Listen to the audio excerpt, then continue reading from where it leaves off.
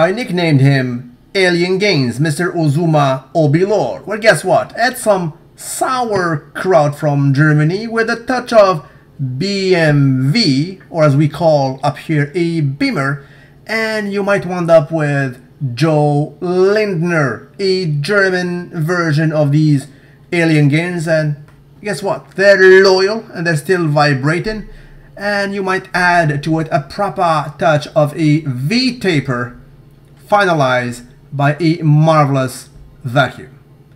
Jokes aside, it is my proper, it is my proper honor to put these guys on the map. Unknown guys that talk to me on social media, they give me a salute and next thing you know, their gains are loyal.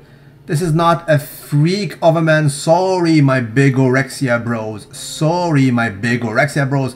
He will not satisfy your urge of big Grammy, nor his fellow German Markus Rühl. We're talking about a streamlined physique of a young gentleman who is doing the job properly at the gym, thus acquiring a reasonable kind of physique. And simply, let me put it this way, Mr. Joe is a proper testament that streamlined guys can have their word at the gym. They can acquire gains, they can still look good and very well balanced all over the place.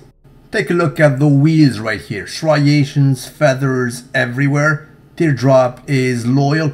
Don't get it twisted. We're not talking about big Grammy kind of a tree trunks. This is a functional physique. This guy can run, he can jump, he can swim, he can move about.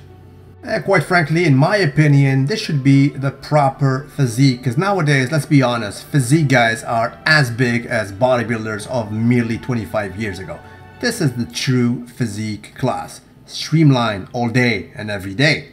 And for all this, Mr. Joe Lindner does receive a proper salute bestowed upon him by the LUI. Be absolutely saluted.